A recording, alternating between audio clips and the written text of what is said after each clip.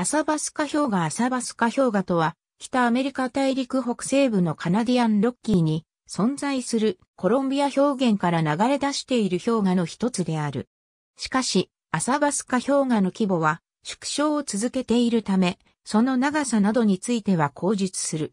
アサバスカ氷河はコロンビア氷原から流れ出す主要な6つの氷河の一つとして数えられている。すなわち、キャッスルガード氷河、コロンビア氷河、ドーム氷河、スタッドフィールド氷河、サスカチュワン氷河、そしてこのアサバスカ氷河である。この6つの氷河は、コロンビア氷原の足の指と例えられることもある。ところで、コロンビア氷原から流れ出す氷河は、近年その規模が縮小する傾向にあって、それはこのアサバスカ氷河も例外ではない。アサバスカ氷河は近年年間2メートルから3メートルのペースで交代を続けている。さらに、この125年で1500メートル以上も交代し、氷河の体積もその半分以上が失われたことで知られている。このように急速に縮小を続けている氷河であるため、あくまで参考値でしかないが、2012年現在のアサバスカ氷河は、全長がだいたい 6km で、約6平方キロメートルの面積を持ち、氷は90メートルから300メートルの厚みを持った場所が存在していると見積もられている。なお、2012年現在のアサバスカ氷河の流速は1日に数センチメートルである。そして、アサバスカ氷河は末端部で誘拐し、アサバスカ川となって流れていっている。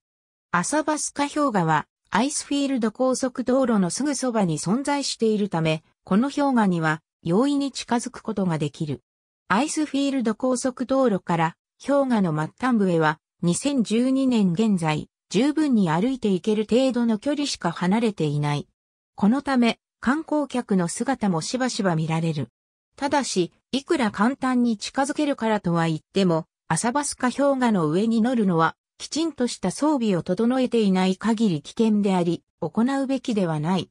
というのも、適切な装備をしていない観光客が氷河の上に登って、積雪などによって隠れていたクレバスに落下して死亡するという事故も発生しているからである。なお2007年現在、この氷河のそばの山小屋でザイスフィールドインタプリティブセンターが夏の間だけ開設されている。ここでは氷河の上に専用の雪上車を使って登って観光するためのチケットなども販売している。これを利用した場合、通常は氷河のそばまでは専用のバスで運ばれ、そこで専用の雪上車に乗り換え、その雪上車で氷河に登るという形で観光することも可能となっている。同名の氷河が存在するので、混同しないよう注意。